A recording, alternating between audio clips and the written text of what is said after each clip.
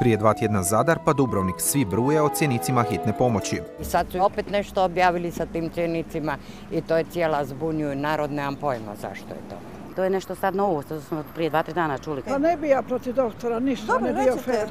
Javnost uznemirena i zbunjena. Pita se na koga se te cijene odnose i znači li to da ćemo sljedeći put kad nam pomoć zatreba prvo razmisliti imamo li novca ili ne. Naravno da su ljudi s pravom uplašeni i zabrinuti, po meni su ljudi premalo i nedovoljno uplašeni i zabrinuti. Jer naime o ovom famoznom cjeniku većina ne zna ništa. U upravi Zavoda za hitnu medicinu pomoćnica ravnateljice kaže on nije nikakva novost.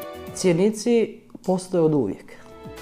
No tek su nedavno postali vidljivi i oku pacijenta, a većini je pogled na ove svote još dodatno pogoršao stanje. U njemu naime među ostalim stoji čak i cijena reanimacije. Ja vam mogu reći da i činjenica da taj stavak postoji već dovoljno alarmantan i šokantan. Oživljavanje, ovisno gdje se nalazite, košta od 1000 pa sve do 1300 kuna. Do sada ni jedan put se nije naplatila takva usluga. Ni jedan put. A obavili ste ih? Obavili smo ih bezbroj. Evo imali smo prije dva dana tu prvo u ovoj istoj ustanovi. Od 20 zavoda u Hrvatskoj smještenih po županijskim središtima, njih 14 objavilo je cjenike. HZZO je donio preporuku o minimalnim cijenama, a sami zavodi onu o najvišim. Luka Lulić, ravnatelj Zavoda za hitnu medicinu Dubrovačko-Neretvanske županije, tvrdi do sada nisu ispostavili niti jedan račun ni za jednu uslugu. Ne naplaćuje se ni bilo koja druga zdravstvena usluga koja se pruži u Zavodu za hitnu medicinu, niti će se naplaćivati niti smo o tome ikad razmišljali, ništa se nije promijenilo donošenjem cijenika. Mi smo cijenik donijeli prije godinu i po dana. Ravnatelji priznaju možda su dijelom i sami odgovorni jer javnost nije dovoljno informirana. Jer cijene života, kako su ih mnogi dosad prozvali, odnose se isključivo na sljedeće.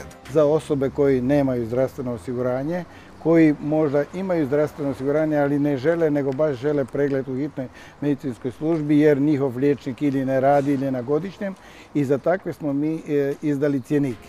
U Hrvatskoj postoji oko 5% ljudi koji nemaju nikakvo osiguranje. Isto se pravilo odnose i na strance čije zemlje nemaju bilateralne sporazume sa Hrvatskom o zdravstvenom osiguranju. Turistima koji su iz zemalja, znači koje s nama nemaju sklopljen taj spomenuti međudržavni ugovor, mi smo im i dužni naplaćivati zdravstvene usluge. Oni će dobiti tu hitnu medicinsku skrb, a račun će biti poslan na njihovu kućnu adresu. Ponovo se na taj način zapravo onda vrši naplata. Znači direktnog naplaćivanja hitnim pacijentima, a sad govorimo samo o strancima, nema, a našim građanima, osiguranim i neosiguranim za hitnu medicinsku uslugu nema naplate.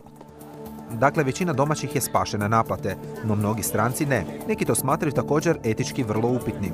Humano nije u redu, ne bi trebalo naplaćivati hitnu pomoć nikako. Bilo to stranac, bilo to domaći. Daniel je na vlastitoj koži osjetio što znači biti stranac i trebati pomoć. Meni se isto dogodilo u Sloveniji da sam opal, pa mi naši nisu niti priznali. Što sam sam si platili i bolnicu i liječenje i sve. I nisu mi naši ni htjeli vratiti jer nisam imao putnog vouchera. Znate, ono za 20 kuna. To je tako. Morali ste sami platiti? Sami sam platiti. 283 eura me je koštalo ravnjanje ramena sa narkozom. Evo, samo za primjer. Je li to solidarno prema čovjeku nevolji ili ne, pa bio on i stranac, pitanje je. Postoje zemlje gdje država čak i svojim građanima naplaćuje i hitne intervencije. Hitna medicinska pomoć se sasvim sigurno naplaćuje u Americi. To znamo, samo što američki sustav zdravstva nije sustav. To je raspašoj. A od toga strahuju mnogi u Hrvatskoj, privatizacije zdravstva i toga da ćemo sve morati plaćati.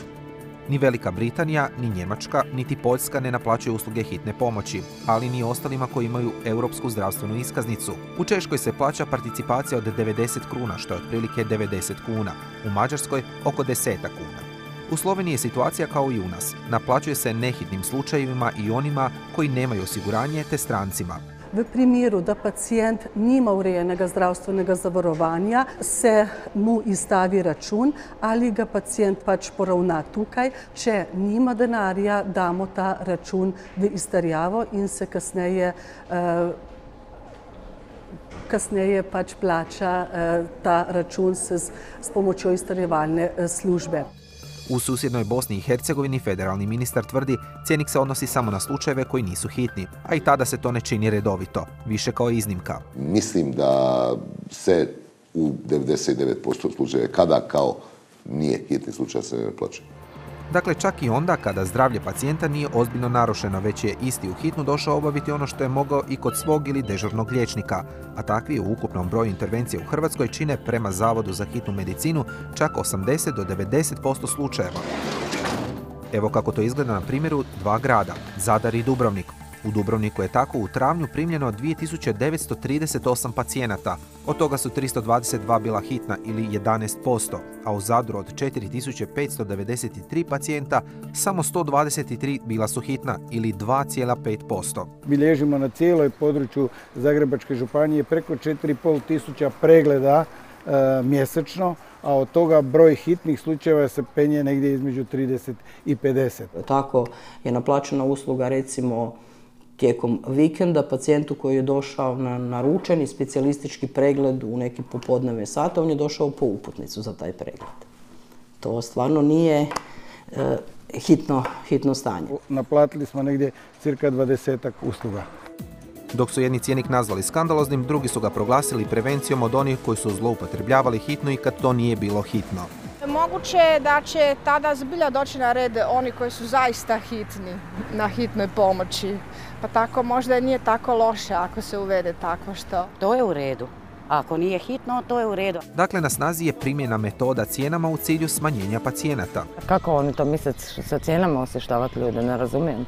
Nataša Škaričić, koja prati zdravstvo već 15 godina, smatra da je cijela situacija oko naplate, pa i u nehitnim situacijama, potpuni absurd. Ako je to stvarno točno, da ljudi bezglavo mahnitaju po hitnim pomoćima jer ne znaju prepoznati razliku između, ne znam, prišta i, i infarkta, onda prostite opet odgovornost zdravstvenog sustava koji nije educirao dovoljno javnost e, o, o nekim temeljnim stvarima. Sviđali se nama cjenici ili ne, činjenica da ima oni koji hitno zlorabe. Dr. Lovasić navodi primjer koji se dogodio u noći uoči našeg dolaska. Radilo se o osobi koja se vratila sa mora i koja želi jednostavno da se ispere nje, njegovo uho jer ima osjećaj začepljenosti, a hitna služba je istovremeno intervenirala i nije imala mogućnost, nego je tražila da pričeka kada se vrate. On čak nije ni čekao, nego odmah arogantno počeo razbijati unutar ordinacije, ponašati se vrlo grubo, tako da je morala čak intervenirati policija. Da pojasnimo za kraj, cjenici se odnose tek na 5% ljudi u Hrvatskoj koji nemaju nikakvo osiguranje. Isto pravilo vrijedi za strance koji dolaze iz zemalja koji nemaju ugovor s Hrvatskom. Od 1. srpnja svi naši osiguranici moći će podići europske zdravstvene iskaznice i to bez naknade, te tako u zemljama Europske unije imati potpuno besplatno pružanje prve pomoći. Ni u Hrvatskoj nema bojazni tvrde u hitnoj. Slobodno nazovite ako vam je pomoć potrebna. Izlazak kola na teren se ne naplaćuje. Naime, izlazak odobrava zavod i samim time smatra se hitnim, tako da naplata kao takva nije ni moguća. A onima kojima je navika po uputnici i recepte odlaziti na hitnu savjetuju obratite se svom liječniku ili dežurnom. U protivnom, ne preostaje ništa nego da izvadite novčanik, jer sve preko reda ima svoju cijenu.